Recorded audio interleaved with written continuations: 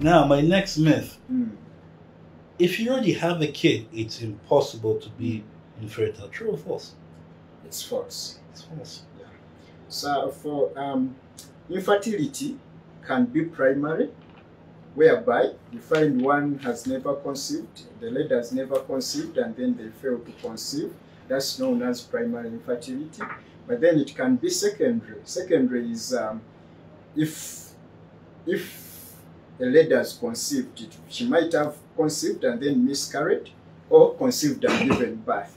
So if such a lady fails to conceive afterwards, then that's known as secondary infertility, and there is usually a cause. Mhm. Yeah, most mostly uh, secondary infertility is caused by tubal tubal tubal factors. Mm.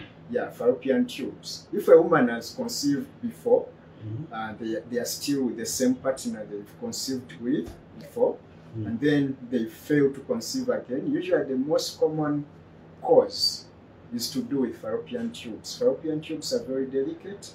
Um, they, they get damaged very, very easily. They can either get a blockage or they get into a state where they can't pick the eggs. So that's very important. Okay. Yeah.